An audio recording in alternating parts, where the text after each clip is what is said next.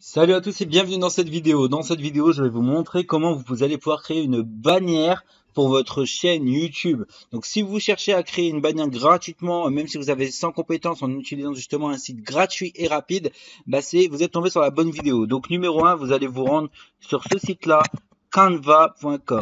Donc vous vous rendez ici là sur canva.com. Donc je vous conseille de vous y rendre depuis votre ordinateur. Vous vous rendez sur ce site, vous créez un compte gratuitement. Une fois que vous allez tomber là-dessus, vous allez aller ici dans la barre de recherche, vous allez tomber euh, illustration. Voilà, vous prenez ici illustration de la chaîne YouTube 2560 x 1440.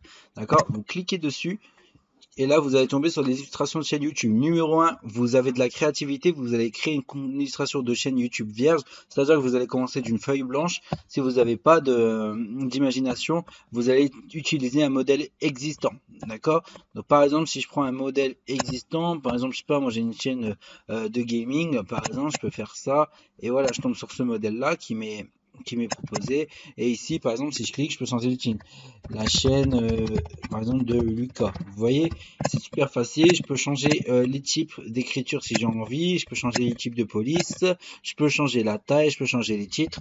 Je peux ajouter des éléments au décor. Par exemple, je vais ajouter ici un petit euh, logo YouTube. Je peux le mettre ici. Par exemple, je vais mettre un pouce bleu. Je peux le mettre ici, etc.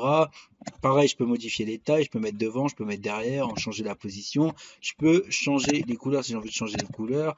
Euh, donc par exemple si j'ai envie de le mettre en rouge. Donc vous voyez c'est plein de petites solutions que vous pouvez faire et ça vous permet de créer votre illustration de chaîne YouTube.